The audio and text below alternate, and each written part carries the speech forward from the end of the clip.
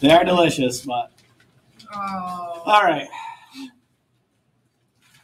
So if we think about where we what we've been talking about in terms of our notes, we started with cell how cells reproduce, cell division, mitosis then meiosis.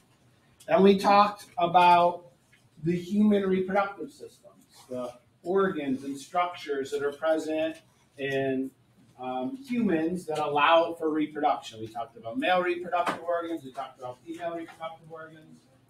And so today we're going to talk a little bit about the process of fertilization, development, birth, and a few, few things related to that. So uh, that's where we're going.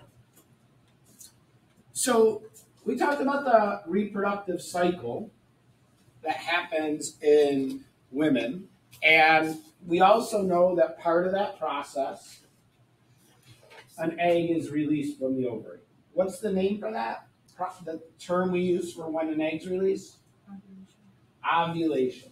Ovulation. An egg inside of the ovary matures. It is released and possibly fertilized. And so that's kind of where we're picking up. So, what does it mean when we say the word fertilized? you know, like it's fertilized. It's like you know, like when the egg, when the wiggly worm comes in, you know, contact with the egg. So, when a single sperm cell Yeah. enters one uh. of the an egg cell, we would say the egg cell's been fertilized. Yes. What is the sperm cell carrying? Uh, you know, the the half the chromosomes. Right, 23 in humans, 23 chromosomes. What does the egg cell have inside of its nucleus?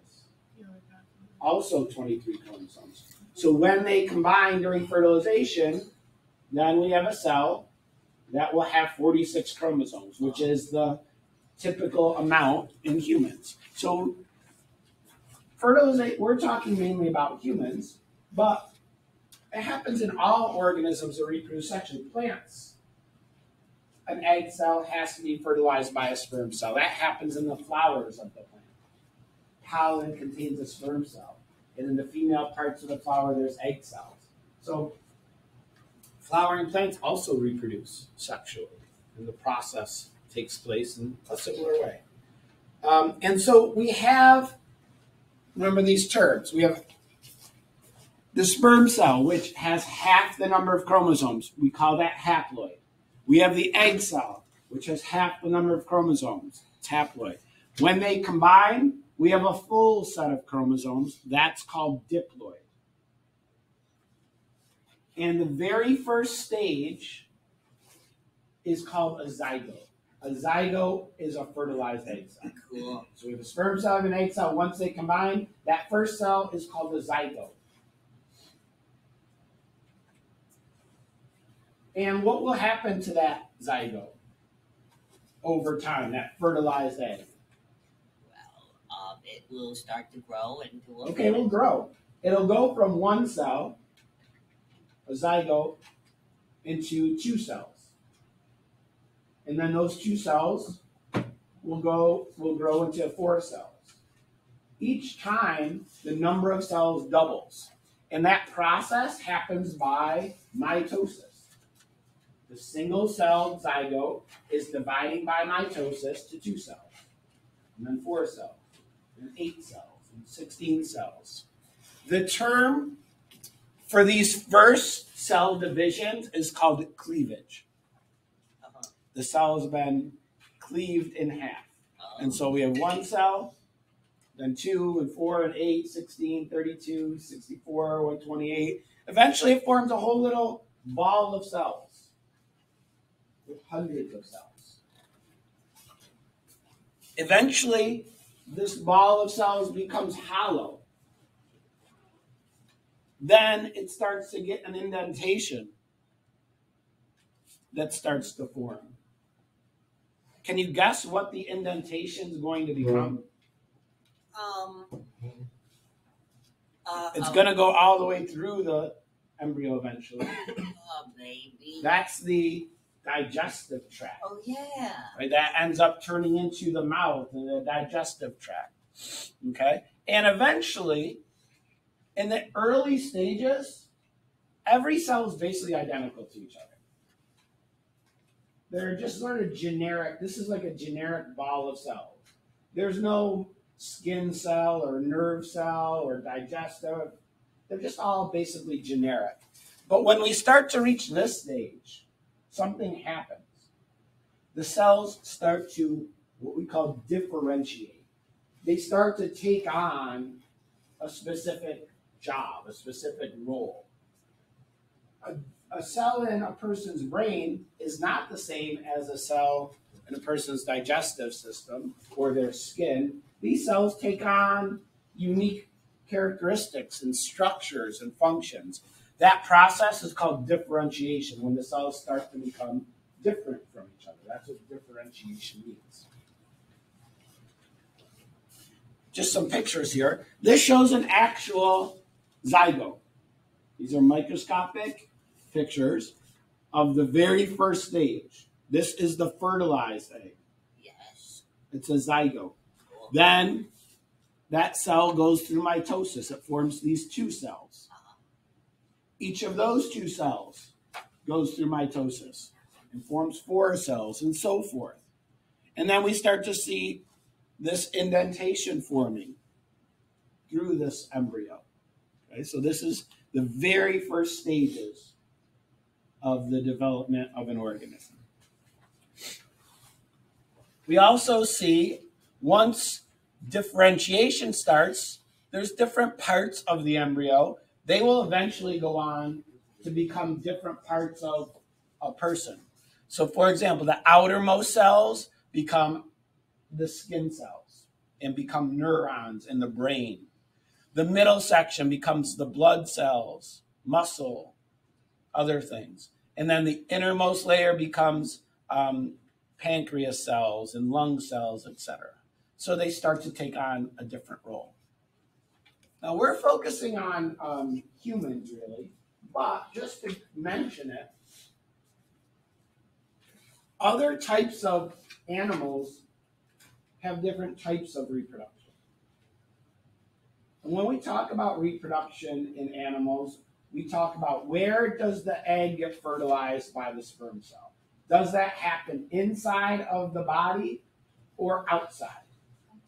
Can anyone think of an animal where the sperm cells fertilize the egg outside of the body? Oh, birds. No, fish, not birds. Something. Frogs, right? In frogs, a female frog lays eggs. Oh yeah. A male frog releases sperm into oh, the Oh, water. that. They fertilize the eggs just in the water, in a pond or a stream. Fish. In fish, right? Yeah, same with fish. We call it like in fish, we call it spawning, where the fish go, males and females go to the same place. The females release eggs when they spawn. The males release sperm. The, this egg cells get fertilized. So that's called external fertilization. Is that why it's called frog spawn? It's called spawning. That's the term for external fertilization. Oh, Other types of animals, like mammals, birds, reptiles, the sperm fertilize the egg cell inside of the female's and body. amphibians. Don't forget those. Amphibians have external, Um, external fertilization. They just lay eggs in the water and sperm in the water. How about insects? Um, insects typically, um, they could have either one sometimes, but often, mostly external. so Um, like they just lay eggs. Yeah, and then they get fertilized outside. Oh, in the environment. Um, mammals, birds, reptiles have internal fertilization. The male deposits sperm cells into the female reproductive tract. The sperm cells fertilize the egg, and then the eggs can develop. But then there's something else. The next question is well, then what happens to those fertilized eggs? Where do they actually grow and develop? inside. Sometimes. And what, what kind of animals do the embryos develop inside of the organism? You know, fetuses. Yeah, mammals, humans, have internal development. The, the embryo and fetus grow inside of the female. But that's not true of all animals. Some are eggs. Some What about birds? Where do the young develop in birds? Eggs. They develop in eggs which are outside of the body, Yes. right? So in birds, the egg cells fertilize inside the female's body, a shell forms around it, and then the female lays the egg, and the embryo grows in the egg outside of the body. So that's called development. So only mammals, I mean, there's some exceptions to this, have internal development. All the other species, basically, the, the embryos develop on the outside of the body, like a egg, a chicken egg, or a bird egg, or an insect egg, reptile eggs, fish and amphibians. They all develop on the outside typically. But mammals are the only group where the young develop, or the embryos and fetuses develop inside. But there's actually some variation in mammals that you probably know a little bit about. Uh-huh. Do you know anything about marsupials? Oh yes, marsupials are like a type of like rodents, or like you know, like koalas and They're a type of mammal. Some are rodent-like, some are not. what's your koalas and What do you, what's the first thing that kind of sticks out when we talk about a marsupial in Australia? birth and Oh, well they got they. Oh, well I thought those were They got the pouches. they got the pouches. yeah pouches. What is the pouch about? Well, it's a type of thing that goes into the rabbit. It's like kind of like a, like a little hole where So, they keep their do, young. do you know what happens in a in a kangaroo birth? Anybody know how that happens? Comes They, out of the pouch. Well, first, there's like two births almost for a kangaroo. oh, I have a picture here. Hold on. those are mine. Oh, yeah. So here is a kangaroo newborn. Aw, It's so in kangaroos and other marsupials. So fertilization happens internally. Male deposits sperm in the reproductive tract, fertilizes an egg. In marsupials, however, the, the embryo develops only to a very develops quickly and is not very mature when it's born. This is what the embryo of a kangaroo looks like. It is tiny. It can't really do anything. All it can do, it's born, and then it crawls up it's got like only two limbs. It can scent, it can detect the scent of the mother's pouch. It crawls up into the pouch, goes in there, and then it nurses and really finishes the rest of its development there in the pouch. And then eventually it's developed enough that it can come out of the pouch, walk around, do its thing. Um, it's almost like the kangaroo gives birth twice. Once this tiny little immature thing, which goes in the pouch and finishes its development. So those are marsupials. Most of them are found where? Australia, Mostly in Australia, but there are some marsupials here. like the possum. A possum, you've probably seen, maybe you've seen them as roadkill more than you've seen them alive. Um, possums are around here. They're in North America. They're also marsupials. They they give birth in the same way. Koalas and a few other things um, are marsupials. So there's another group of um, mammals called monotremes. There's only a couple examples, and these are the examples. The platypus and the echidna. This is the platypus. Yep, it's kind of a strange animal. When people first discovered platypus, they thought it was like a joke. They thought somebody had taken different parts of animals and taxidermy and, and just like sewed them together because it's got like a bill at the front of its um, yeah. at the front of its head. It's got like a beaver leg tail. It's got um, these claws that have venom. It's very Yeah, they got strange. no, they're not claws, they're barbs. I'm pretty sure. Yeah, and they're venomous. Um, but the platypus actually is a mammal, but it lays eggs. It lays again tiny little eggs, which eventually hatch into immature young, which have to nurse for a while until they mature. This is an echidna, sometimes called a spiny anteater. Same same sort of thing. It's a monotreme. There's a little Yeah, they like. Did you know they have a two-headed? Yeah, similar. Oh, Oh. so they- did you know they have a two-headed? Penis. Yeah. Yes, I did know that. Um, Think about Knuckles for a minute. So um, then we have most mammals that we're familiar with humans, dogs, cats. Um, These are called placental mammals, Oh, and that's what we'll be talking about mostly. isn't the placenta? So we're going to talk about it. So just uh, give me a minute here. That's what I Okay. was just thinking. So placental mammals, such as humans, have internal fertilization.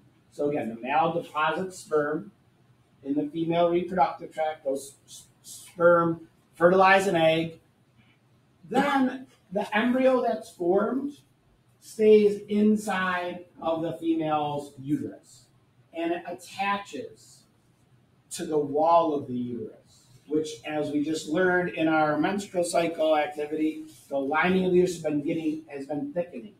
Blood vessels have been forming. It's been getting ready for this embryo to attach or implant into the side of the uterus.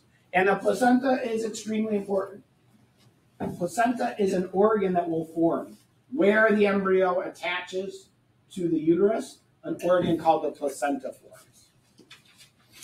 Um, let me see for a second. So this is what a placenta really looks like. Yeah. What's attached to it?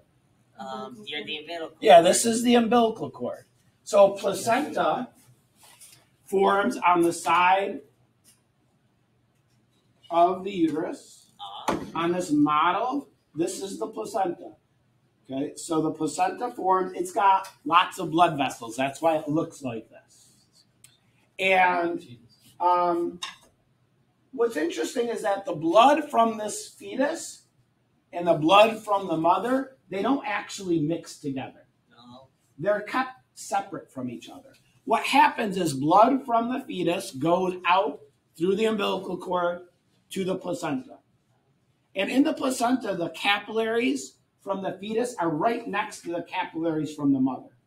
And what that means is things can diffuse back and forth. Food. So, like nutrients from the mother's blood diffuse in the placenta to the fetus's blood, and oxygen Uh-huh. diffuses into the blood of the embryo of the fetus. Waste products from the fetus diffuse into the mother's blood.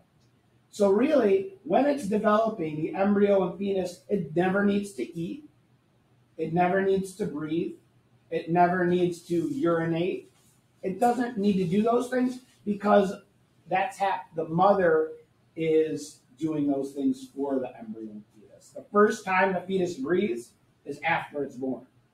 First time it needs to eat is after it's born. So if I go back here a minute.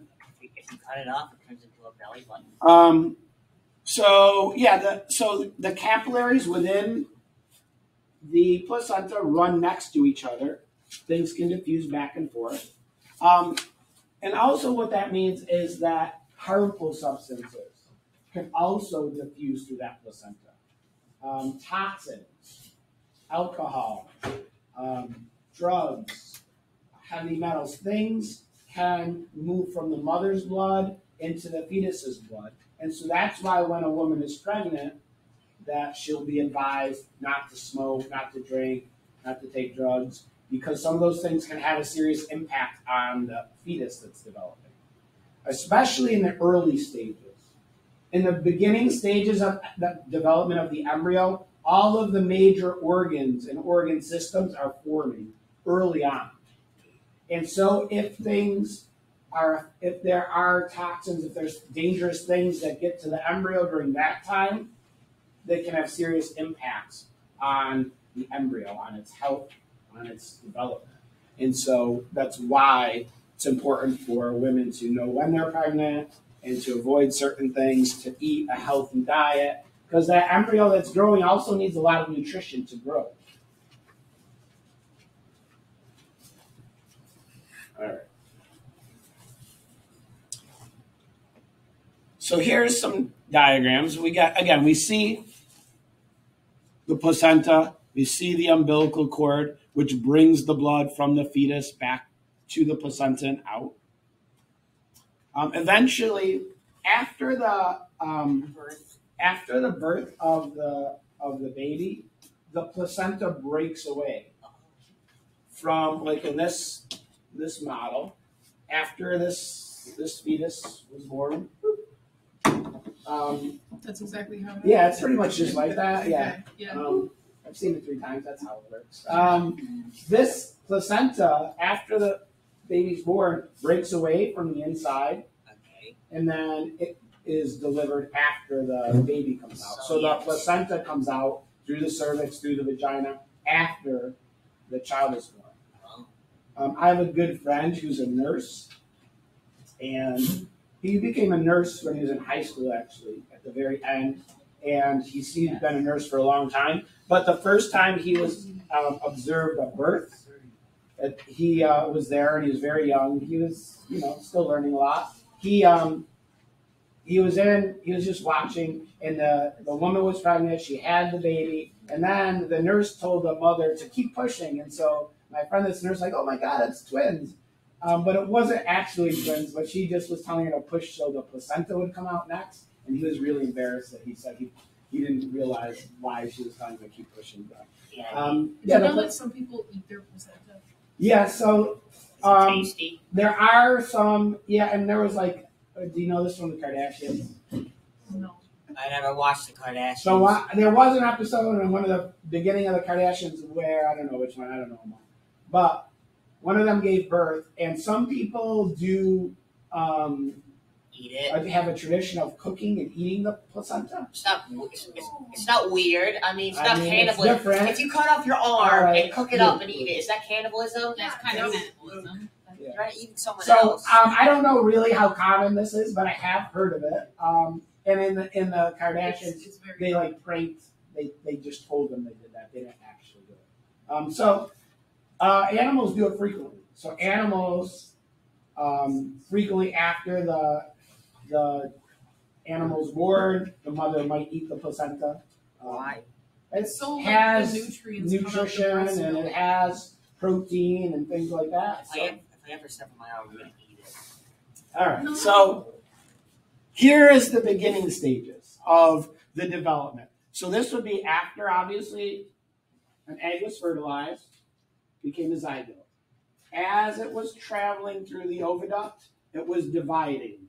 It was growing into that ball of cells.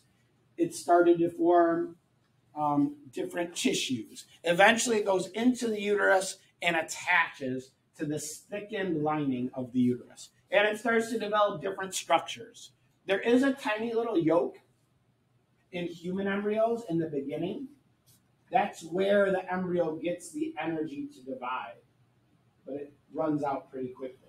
Eventually, this embryo attaches to the wall of the uterus, and around it forms a sort of um, membrane that's called the amniotic sac, and it's filled with fluid. And the embryo will stay in that amniotic sac throughout all of its growth and development. You could see here the beginning stages of the umbilical cord, bringing the blood out to the placenta and bringing the blood back. And again, this placenta is where um, the exchange of materials between the mother and the fetus takes place. Um, here's what some of the stages look like. Um, these are the beginning stages of embryonic development, right? From day one, which would be a zygote, when the egg was just fertilized, One with tails. and through the process, this is um, 60 days. Okay, so that's about eight weeks or so. This is the embryonic stages of development. Um, and you can see it grows quite a bit in size. By the time we get to 10 weeks or so, um, their organ systems are starting to form. By the time we reach this embryonic stage, many of the systems have been formed. These are the stages when problems like alcohol or drugs or lack of proper nutrition can really have a large impact on the embryo because it's in the process of forming organ systems. Okay. So let's let's talk about this process. First of all, fertilization. Combination of sperm and egg. This happens in the oviduct. So remember, the sperm cell need to make their way after um, after sex from the vagina through the cervix, through the uterus, all the way up into the oviduct or fallopian tube. That's where they can fertilize them. There's a pretty short window in which that can happen because the egg is traveling down the oviduct. The sperm cells can live for a couple days. So there's a, a window of when a woman can become pregnant. It's around ovulation. And once that fertilized egg starts, then the embryo goes through mitosis hundreds and thousands of times.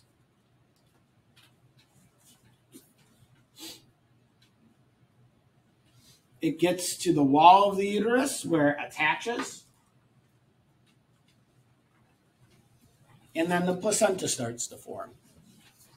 An umbilical cord grows to connect the, the embryo to the placenta.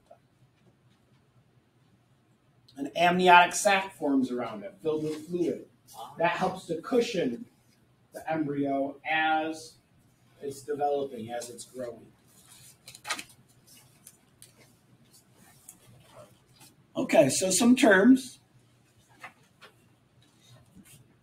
So when we talk about um, prenatal, that means before natal means birth. So prenatal times are the time before the uh, fetus is born. We call the first cell the zygote. A single fertilized egg cell is a zygote. Once it divides, we start to use the term embryo for eight weeks. After eight weeks, we typically use the term fetus about this growing organism. And then eventually it's born, and that's the postnatal period. How long does it take in humans Uh, for the eight weeks, embryo to grow, or for the zygote to grow and be born? a month. How long is a pregnancy? Nine months. We some we often will say nine months, a little bit longer, really. Weeks are probably better. Forty weeks is like what's typically thought of as um, the full per- gestational period. Um, normal is like plus or minus two weeks.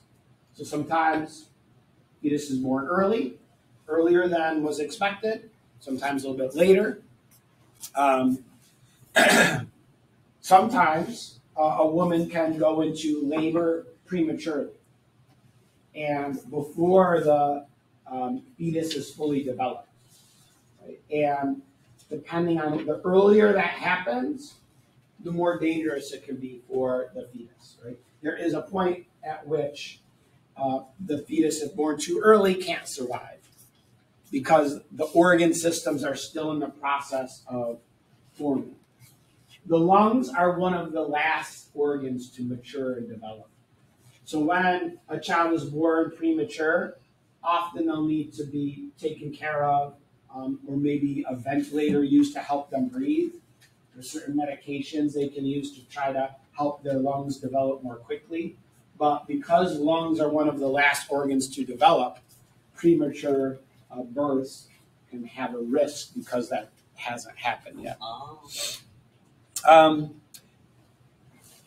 doctors can can do a test. They can take a sample of the fluid that surrounds the fetus. It's called amniotic fluid, and they can do a, a test called an amniocentesis. Basically, they use a needle and withdraw a little bit of that fluid, and what's in it are actually cells of the fetus. And so they can use those cells to test for different genetic conditions, chromosome differences. Uh, they can tell um, the sex chromosomes by looking at those cells. What kind of what do we call this? a fetus. Well, the picture Oh, a C. Uh, it wasn't a C. It's a. It's a sonogram. sonogram. So sonogram is basically using sound waves.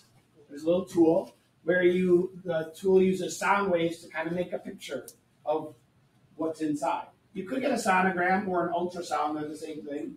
For other parts of your body, like if you hurt your knee, they might do an ultrasound um, to see what's going on inside your knee. It's a way of imaging inside.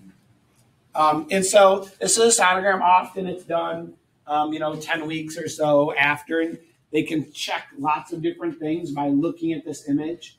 Check proper heart development, the size of the of the embryo, how old it is approximately, things like that. Sometimes they can tell um, if it's uh, male or female, depending on its orientation.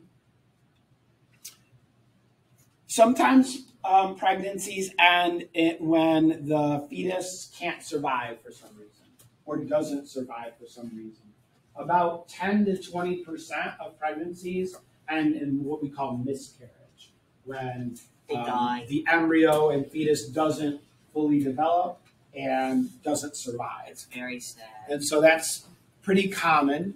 Um, and it does happen, and for different reasons, and sometimes for unknown reasons as well. It's very sad. So when development is complete, when we're reaching the end stage, stages, not we, I shouldn't talk as we, I'm not gonna have a child, but when um, a pregnant woman is reaching full development at 38 or 40 weeks, um, she's going to give birth to the child. Yeah. How, what, what's one of the ways that a woman might know, hey, I'm having this baby soon? Water breaks. Yeah, what does that actually mean? The amniotic sac breaks. Yes, the amniotic sac that the fetus is surrounded in, that's filled with fluid, at some point it often ruptures, it breaks. And then that fluid leaks out through the oh. cervix, through the vagina. And so if that happens, then a woman knows, oh, I'm going to have this, this baby soon. I just thought they had to go pee. No, and then it doesn't come from the bladder and it's not urine, so it feels different for a woman. Um, it doesn't always happen. Sometimes labor can start before, and that doesn't, uh, the amniotic sac doesn't rupture. Um, but often it does. And typically, the doctor You're not ready. wants the woman to have the child give birth within about 24 hours. Because once the amniotic sac breaks, then there's the possibility that bacteria could enter. So they really want the woman to give birth within about 24 hours. So often the amniotic sac ruptures. Um, and then the fetus starts to drop lower into the uterus and starts to press against the cervix. The cervix is the opening of the uterus. And that causes this hormone cycle to start.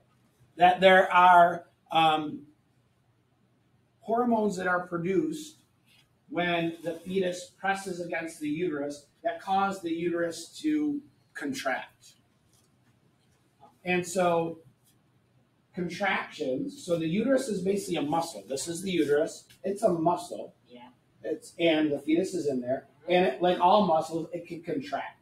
Oh, that must hurt. And so, in the beginning stages, when a woman starts labor, contractions of the uterus, they are spread out. Maybe they happen every 10 or 15 minutes or 20 minutes. And often they're mild and a woman can feel it happening. Um, but as labor progresses, as the uterus contracts, it pushes the fetus more against the cervix, which releases more hormones, which causes more contractions, which pushes the fetus more, which causes more. So we have this positive feedback loop. And so the contractions become closer together, they happen sooner, they become more intense. And in this process, what's happening is the opening of the uterus, okay? The cervix is dilating. It has to open up to allow the fetus to come out. It's becoming thinner. It's called effacing to make it more flexible so the fetus can come out. And so as the uterus is contracting, okay, the fetus gets pushed down into the cervix, which is dilated and thinned, and eventually starts to make its way out of the cervix, out of the uterus, and into the vagina. Um, and so at that point, so uh, up to this point, everything that's been happening for the woman that's giving birth is um, involuntary. Like sh- her uterus is just contracts. She doesn't need to do anything. It just is happening. As the fetus makes its way into the vagina, then we get into the delivery. We call that delivery. And at that time, in a, in a typical vaginal birth, a woman would sort of push, contract her muscles to move the fetus through the vagina and out into the world. Um, the typical position for the fetus is head first. Okay, that's that's the way in which the fetus moves more easily through the cervix, through the pelvis. Um, it sort of turns as it's being born. But there are times when the fetus is in a different position. It could have it could be feet first. It could be sideways. And so in those conditions, sometimes the doctor might try to move the fetus so that it can be born head first more easily. Um, sometimes that can't happen. And so after the the fetus has been born, it's been pushed out through the vagina, the placenta breaks off from the uterus. That comes out afterwards. Okay, and then once that breaks off, then the fetus needs to start to breathe on its own. The child needs to start breathing on its own because it's no longer getting oxygen from the placenta because it's separated from the wall of the uterus. There are times when a vaginal birth through the vagina is not happening uh, quickly enough or that the fetus is in distress. When a woman is in the process of labor and delivery, the doctors and nurses monitor um, the heart rate of the fetus. They monitor the blood, the oxygen levels of the fetus, and if they drop, then the doctor may decide that they need to um, take the fetus out more quickly to help it to maintain its health, and they might do what's called a C-section. A C-section is basically a, a surgery. So a woman have to go into a surgical suite where a doctor would do a surgery and basically um, cut through the skin of her abdomen, cut through the abdominal muscles. Below that's the uterus, cut through the uterus, and then rupture the amniotic sac, and then basically take the fetus out through this incision rather than having it be born through the vagina. Um, so that's a C-section. Um, it's so typically doctors don't want it. This is so it takes longer. It's more risky for the mother's health, for the fetus's health. Um, it takes a lot longer for a woman to recover from a C-section because all those muscles and incisions need to heal. So the doc, a doctor would like to avoid a C-section if at all possible, but sometimes it's not avoidable. Um, my head was too big, and my mom had to have an emergency C-section. Yeah. And she hasn't let me live it down. Oh, she brings it up. No, all the time, especially on my birthday. Oh wow. You should be celebrating me. Wow. Wow. Okay. Yeah, it happens. With my daughters, all of them, um, their like umbilical cord was pretty short, and so as like labor was going on, their um, heart rates were always dropping, and so we, my wife never had to have a C-section, but lots of times like the they have monitors and the alarms go off and they have to like they flip her on her side or try to move things because sometimes if the umbilical cord gets compressed or, or smushed, um, it can reduce the flow of blood to the fetus. So those are kind of situations when they might want to consider C-section. We'll come back to this in a minute. Twins. Let's talk about twins. Sometimes they'll identically the same. So there's two types of twins: Identical. identical Okay. and fraternal. Um, identical twins form. So we already talked about an egg cell gets fertilized, starts to divide into an embryo. Sometimes that embryo splits into two, and each of those becomes its own fetus, embryo fetus. And those go on and plant and grow in the uterus. But because they came from the same sperm cell and the same egg cell, they have the exact same chromosomes. Those are identical twins. They're always the same sex because they have the same sex chromosomes.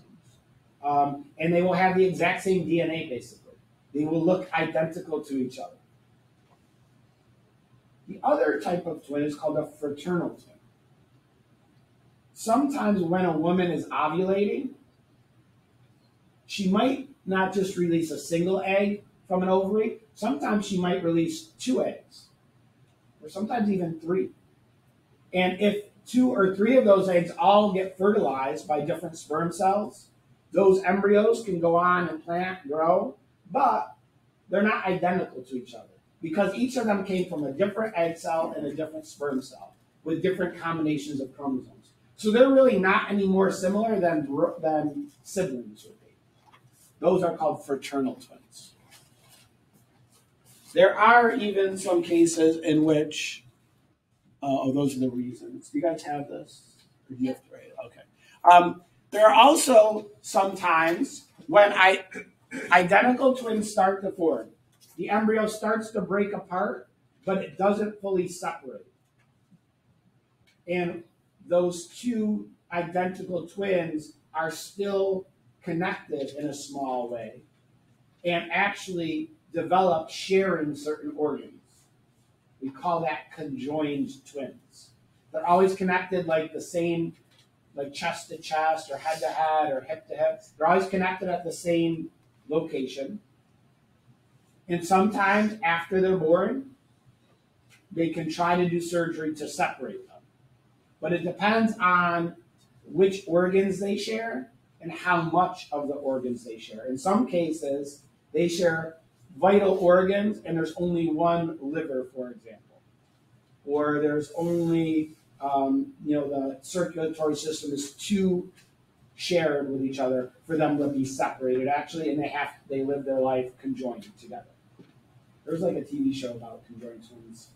Yeah, was it? I think it was a TLC. Yep. What type was it? Siamese or two headed? I think it was two headed. They're like you call them conjoined twins. Oh, Siamese is like Yeah, old yes. term used to be used. yeah. It's well, actually, it's just like two people connected by like a single piece of tissue. Yeah. Um, Pretty cool. okay, and then the last in terms of what? Oh, that was that was. in terms of um, human reproduction. So, birth control, ways of avoiding pregnancy. Um, there's a variety of different, and we've talked about a couple of these already. So, um, to avoid getting pregnant, there's several things that um, people can do. One is not having sex, call that abstention. So, obviously, in order to get pregnant, a woman has to have sex. A man has to deposit sperm in the vagina to fertilize an egg. So without that, there can be no pregnancy. Although there are certain surgical procedures where um, a sperm cell can be uh, used to fertilize an egg cell outside of the woman's body and then implanted into her uterus where she can become pregnant. It's called in vitro fertilization. Um, trying to time when a couple has sex so they avoid the window of ovulation. That sometimes people try to do that, and we'll look at another graphic in a minute. But it's not very reliable because there's a window of how long sperm survive. Ovulation's not always predictable. So if um, a couple mistimes that, then they can get pregnant. There's lots of hormonal birth control options, mostly all completely for women.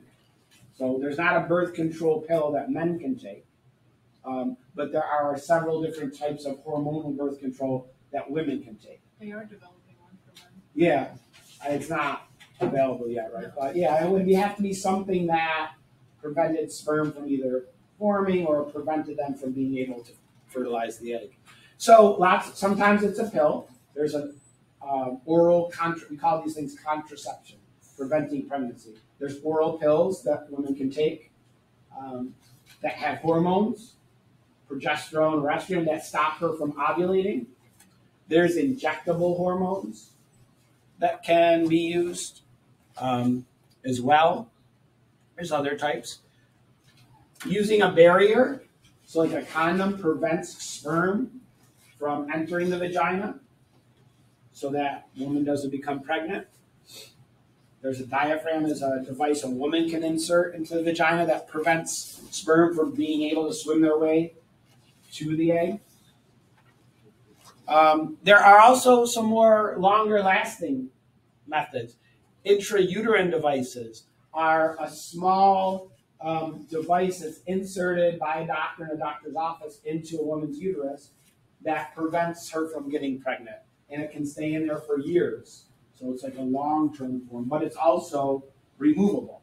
So if she decides she does want to get pregnant, it can be removed and she can get pregnant afterwards. And then there's the permanent methods. We talked about a vasectomy in a man or tubal ligation, tubes tied in a woman. Those are permanent. That's for when people say, I know I don't want to have any more children ever.